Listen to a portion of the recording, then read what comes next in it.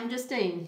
And I'm Daryl. And we're the Breakaway Bravehearts. In this video, we're exploring Venice in the off season We'll show you Venice in mid January, their coldest month of the year. and answer the question is it worth the visit any time of year? So we started off actually not going into Venice itself, did we? Because we were on a budget, and so we actually decided not to stay in Venice Islands, but out in Marghera, which was a good choice for us. It was nice, uh, really nice Airbnb, totally within our budget. And very easy to get in and out of Venice. Buying the bus tickets was pretty interesting. You go to a machine, pop in your money, you listen to something that's said in Italian, and once I paid my money, the results were surprising. Yeah, we got a bit of a shock the first time because we put the money in, it all went through, tra- transaction went through, and then out popped a little pop filter box. But it turned out that inside the pop filters were our tickets. If you're feeling uncertain about using the vending machines or catching or buying your ticket elsewhere, you can actually use a city transport app, which we'll put the link for in the description, and that'll give you tickets to the train, uh, the buses, wherever you want to go in Venice. So the bus took us straight to the look what looked like to be the start of all the water taxis, water boats, everywhere where you could get around in Venice. Kind of like a terminal, right? Yeah, and so that was also a really simple process of just rocking up and buying some tickets on the water bus. And we decided to take the water bus again for budget reasons. The gondola, they were going to charge us 90 euros to take a gondola. This is true, yeah, even though the going price is 80 euros, so don't fall for it, guys. Justine's saying it's called a water bus, but actually, when we go to the stations, we stop at stations. Um, and anyway, they just took us on these docking stations, as it were, and you could get on or off, but you had your specific destination paid for. Kia ora Aotearoa, New Zealand! Woohoo! New Zealand flag in Venice. Love it. The water bus will take you down the main routes and will stop you off. We had about eight or nine stops, I think, on the way to San Marco. So there's plenty of places where you can get on and off, and you'll go under some of the 435 bridges that are in Venice. They link up the islands. It's 121 islands. Is it a little cold, Daryl?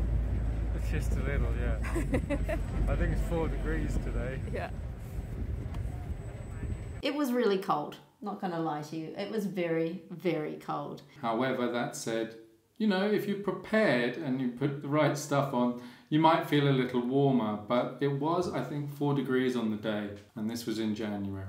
and the sky was a little dull, but it was still magnificent. I can imagine in the summertime the sun would glint off the buildings and it would just be spectacular. It would also be completely crowded. So we were really happy that even though the sky was a little dull, the weather was a little cold, we still got to see everything and didn't have to worry about the crowds. And honestly, on the first impact, just just going down on the water bus, um, even without the sun glint and the blue skies, you're just blown away. It's uh, it's like nothing I've seen before, and I was just in awe, just uh, in awe. you can really tell how much of a financial power that Venice was. Uh, during the Middle Ages, during the Renaissance, this was a staging area for the Crusades.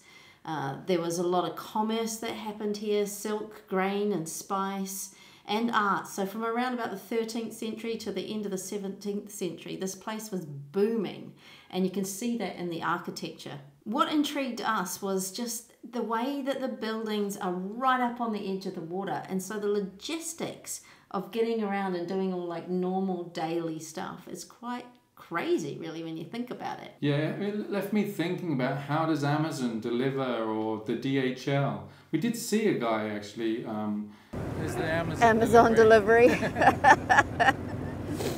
the absolute logistics of it. I mean, I think we saw a technical support vehicle, which was a boat, um, rocked up again, um, up against the, the building. They've really had to change the whole way of being. It's quite quite something. Yeah, everything is revolved around water. There are no cars, and you've got gondola poles instead of parking spaces, and the doorways just literally open straight out onto your your boat. And I guess, Justin, we've got to add that, you know, this is out of season, so there was a lot less gondolas out there. There was, um, you know, they were kind of left to the sides or pulled out altogether. So a lot of our gondola, gondola poles were empty.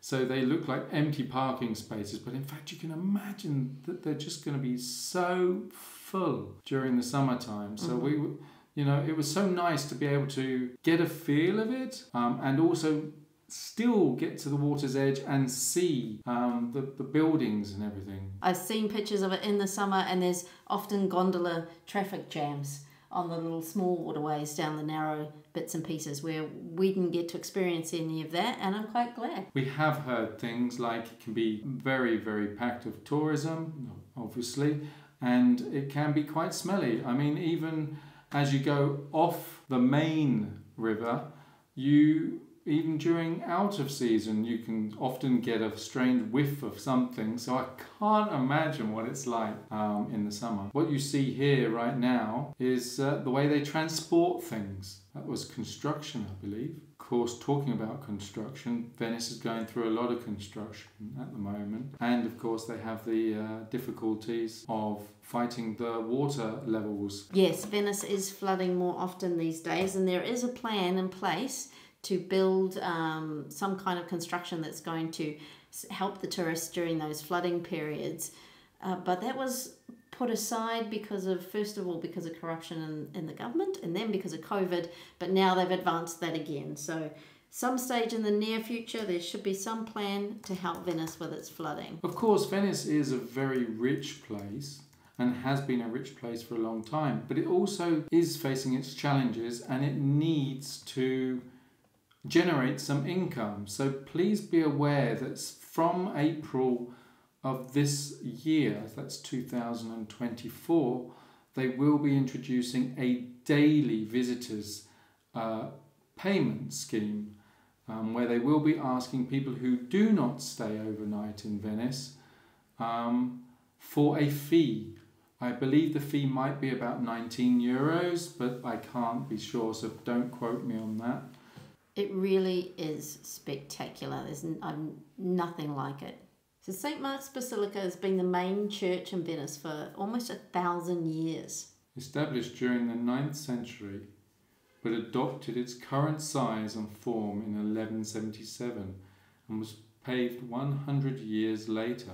It's actually based in the lowest point in Venice, and so it's always the first place to be flooded. And it gets flooded several times a year. And so when this happens, they place little wooden footbridges for the locals and the tourists to get around. Fortunately, we didn't have to encounter that. And it's just magnificent. And most of the attractions in Venice and all over Italy, you've got two different prices. You can just pay your regular price and take your luck on the day as to whether or not there's a queue, or you can pay to skip the queue in advance. Uh, being off season in Venice, we didn't need the skip the queue versions uh, because none of the lines were very long anyway. Which, for those that are on a budget, there's just another simple tip to be able to Yeah. avoid an extra cost. But make sure you subscribe because coming up soon we've got a video of Florence, also in the off season in January, which is quite a different story. Yeah, the entrance to the basilica was actually quite cheap. I think it was three euros each. Once you get in, you do have to pay extra if you want to climb uh, up to the balcony. Which takes or- you also into the museum, right? Yes, extra for the museum, and then there was another very special part right at the back that looked up at the dome, and that was an extra cost too. So originally, this church wasn't dedicated to Saint Mark; it was dedicated to uh, Saint Theodore, who was at the time the patron saint of Venice, and it was a small church, just built out of wood, probably around about 819. But then in the early 11th century, they actually went and stole the remains of St. Mark, his relics, from Alexandria in Egypt. And they, they hid the relics of St. Mark under some pork in a wagon. And went, as they came through, the Muslim guards who inspected them didn't want to check the pork, and that's how they got away with kidnapping St. Mark. They sailed back to Venice, and a huge storm uh, took hold of the boat. But according to legend, the boat was about to sink when a vision of St. Mark appeared and told the captain to lower the sails, and that's how they avoided capsizing and made it safely to Venice. The cathedral has 283 pieces made from gold and silver and other precious metals. And most of these were uh, treasure that was taken from Constantinople. When you go inside the church, you'll see there are four horses made of bronze, and once again, they were stolen from Constantinople and brought back to Venice as spoils of the war. Some areas of the cathedral still operate on a day to day basis, and people still go there uh, for religious ceremonies or just to. To worship. So after San Marco, we decided to walk back. It had gotten a little bit wet. You can see people have got their umbrellas out now, and it was definitely getting colder. But we really wanted to go through those narrow, winding streets to have a good look. There are a lot of shops for shoppers with a, a larger budget than what we currently have. Yep, that's correct. That is a crystal dress for the price of 3,159 euros. But as it was cold, I didn't feel like that was a dress I needed today. We were also on the lookout for a good restaurant for lunch. Some of the restaurant prices weren't the cheapest, especially when you're in the main areas or along the riverbank. So we were looking for a restaurant in the back streets that maybe had one of the menus of the day that we could try out. So your menu of the day would normally give you either a meat option or a fish option. I don't recall seeing any vegan options to be honest. And there's likely to be some kind of pasta in there um, and a dessert and a starter along with your more pricey boutiques, there's also a lot of little uh, tourist trap shops that have got your uh, your usual tourist items and of course masks. Heaps of shops with those beautiful Venetian masks that are used during carnival time. You do want to take your time shopping. Don't necessarily buy it in the first shop you go to because just a few meters down the road you'll find exactly the same thing in another shop. So shop around and you're likely to find yourself a bargain.